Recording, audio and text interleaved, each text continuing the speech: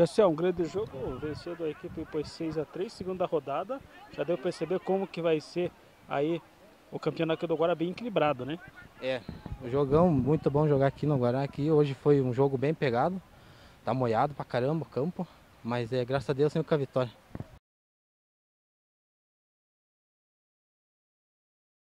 Gabriel, um grande jogo, vencendo por 2 a 1 já deu para perceber como vai ser o campeonato, bem pegado, né?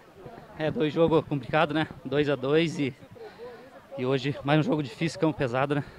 Mas deu tudo certo. Vale. Agora com certeza fazer aquela resenha com o grupo e fazer aquela resenha e já pensar para o próximo jogo, porque uma participação de 20 equipes, todos vão brigar por título, né? Com certeza, campeonato bem disputado e vamos em busca.